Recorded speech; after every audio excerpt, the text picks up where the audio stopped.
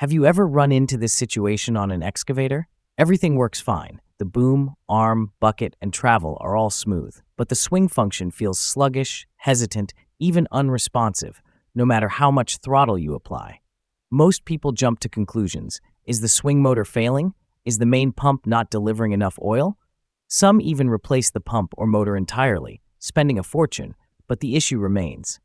So what's the real culprit? Often, it's something much smaller, the balance valve.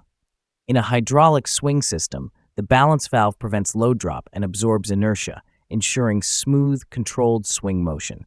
But if the valve spool sticks, the spring wears out, seals are damaged, or the orifice gets clogged, the valve may not open properly. Oil flow to the swing motor is restricted, causing slow response and jerky movement. That's why regular cleaning, seal replacement, and clean hydraulic oil are key. In many cases, what seems like motor failure is really just a faulty or dirty balance valve.